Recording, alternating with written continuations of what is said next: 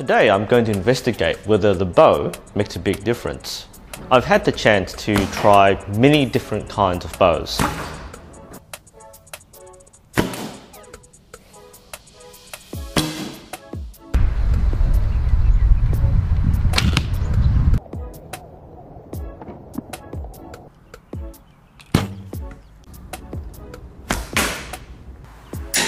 Today we're going to go as simple as possible. This is perhaps what you might call a $7 bow.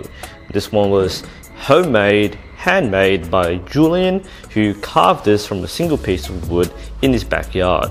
This particular bow type is a mollegabet or a molly. And, and, there's not much to it. It's a basic piece of wood, there's a bit of a grip, and uh, the tips are somewhat tapered. The string is, I think, some leftover string that's roughly tied together. It's a pretty crude bow, but it is handmade with love and passion.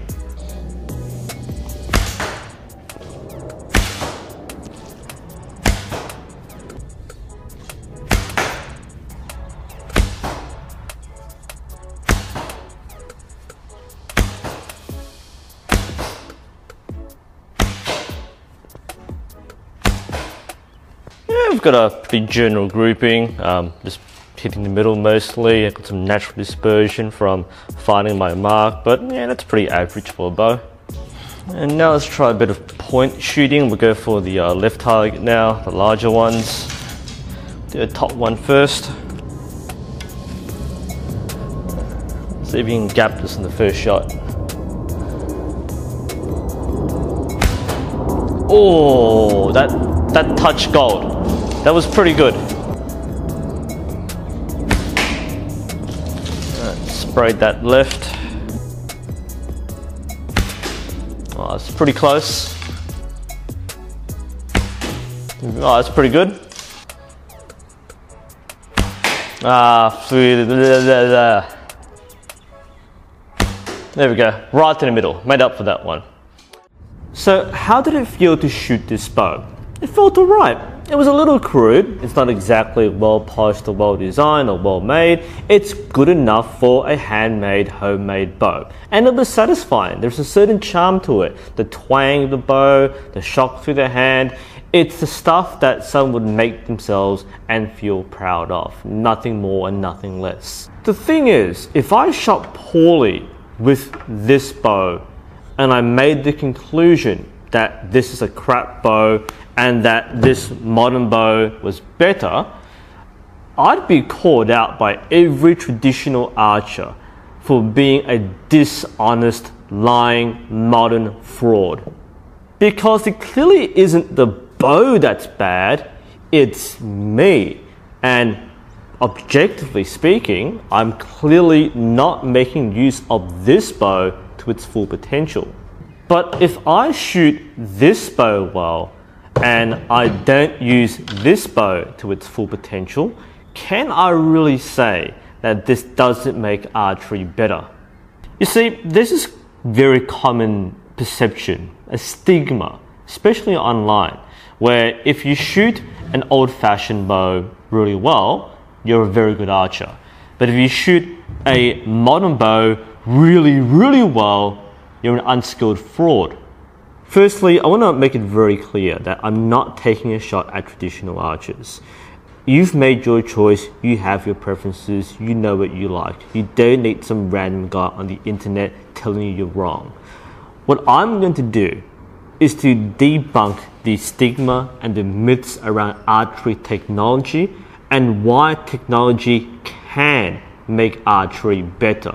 I'm only asking, especially as a non archer that you keep an open mind about what we're talking about and don't let your preconceptions and prejudices affect the way you see archery today. Let's briefly talk about technology in an archery context. How did we jump from this to this? If ancient warriors could shoot just as well with this, why would modern archers use this? Why change archery if nothing's broken, everything works fine? So let's briefly talk about what has changed in archery. Despite archery being used for the majority of human history, bow technology hasn't changed that much. The original bows were self bows, bows made from a single piece of wood, very much like this one. And this was and still remains one of the most common types of bows. From a modern perspective, this is a low tech bow, but even in ancient times, this was low tech. It was cheap and easy to make. It was so common that you could say nearly everyone had one, and when you didn't need it or it broke, you just got rid of it, burned it, got a new one. Now, generally speaking, the only real diversion or advancement from a self bow would be the composite bow uh, or the laminated bow, where you would use multiple kinds of wood laid together. And then you have composite bows, which are made from horn, wood, and sinew. Um, these were combined together to make very powerful compact bows. They're more often called horse bows or Asiatic bows. Uh, they were used by the Turks, the Mongols, the Huns, uh, the Persians, the Arabs, and so on. Apart from self bows and composite bows, the only other advancement in archery would have been the crossbow, and that's a bit of a, a sub branch of archery. So, self bows have been used since the dawn of humanity, uh, composite bows have been around since ancient times, crossbows, medieval times, so let's say around the 1100s to 1200s. And more so with bows, more than crossbows, there are very large segments of human history where bows haven't changed. Now, that stopped in the 18th century when we see the mass adoption of firearms. Uh, every army rushed to get the latest uh, muskets, and the skill of making and using bows was lost. Uh, bows and archery were relegated to a sport practiced by the elite, and that's where we see the origins of modern archery from the 19th century to the early 20th century. Now, when archery became an Olympic sport in the 20th century, um, the bows were basically wooden longbows. Um, again, we haven't seen an advance in archery technology until the 1960s, when we start seeing the introduction of aluminium, first through arrows, then through risers in the 1980s and 90s. And since then, we have modern high quality CNC machine aluminium risers like this one. We have carbon risers. We have modern target bows and modern hunting bows. And of course, we have the epitome of archery technology, the compound bow. What's fascinating to me about this timeline is that it reflects a very large break in archery development we don't really know what would have changed in archery if it weren't for the Industrial Revolution and the mass production of firearms. Because as we know, warfare today is based around firearms and more advanced weaponry. We don't use bows for war anymore, and yet we now have the materials and the manufacturing methods to create better bows. In a sense, what we see here and here are the results of a what if timeline. What if bows were made today with modern materials and manufacturing? And would they be better than what a historical archer would have used? And the short answer is yes. Hell yes a historical archer would have killed to use a bow like this. And if this looks stupid to you because it's bright and purple, then something like this, uh, a simple metal hunting bow. This is so far superior to this, it's not even a comparison. Let's not be naive about this. There are huge disadvantages to old-fashioned bows made using traditional methods. Because firstly, you have to remember the strings were made from natural materials, either natural fibers made from plants or from sinew. And if they got wet, the strings got slack. You lost all the power in the bow and you couldn't use them in wet weather. The wood itself could become warped um, over time, it could set, and it would lose power just by being strung um, you would have problems, especially with composite bows, because they use animal glues. Animal glue is water soluble. So if you were in a wet climate and it rained and your bow got soaked because you didn't carry it in a proper pouch, it would delaminate. It would explode if you tried to use it. None of those problems are present in a modern bow. Modular designs made with metal risers, composite limbs, synthetic string materials. This is so much easier to maintain and produce than an old fashioned traditional bow. This sort of modern technology would be unimaginable to an ancient archer. Imagine an ancient archer seeing a compound bow. To them, you'll be flinging lightning bolts of arrows so fast that it couldn't be seen with the naked eye. Again, let's not be naive. This $700 bow is better than this $7 bow in nearly every single way. Speed, performance, efficiency, consistency, balance, vibration, ergonomics, everything. A bow like this would perform differently if it was wet or warm or humid. A bow like this would be the same. An ancient archer using a modern bow can shoot faster, further, and more accurately than with any bow they had.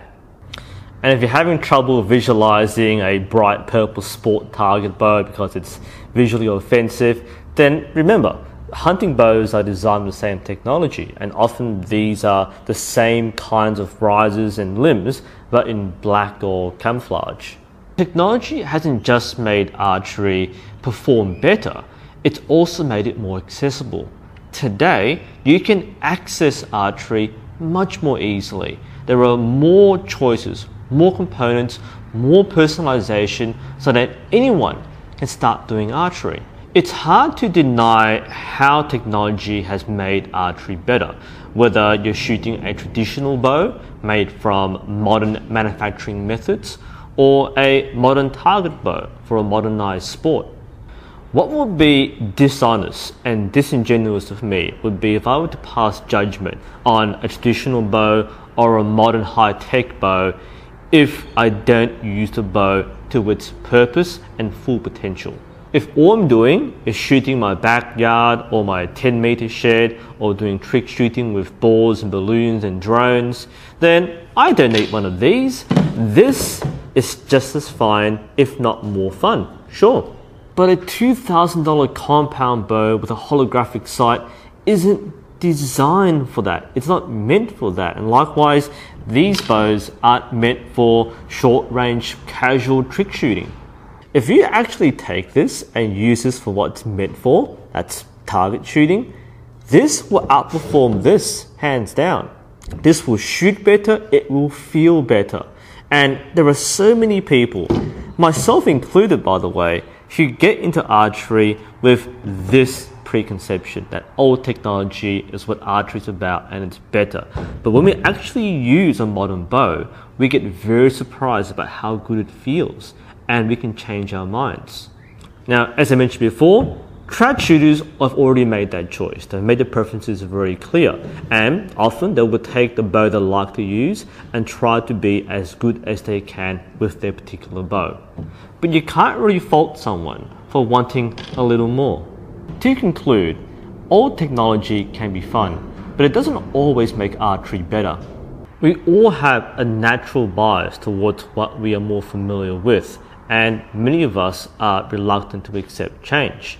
We shouldn't simplify archery as old is good and new is bad. It is natural for us to push the limit to make things better or faster or lighter or whatever.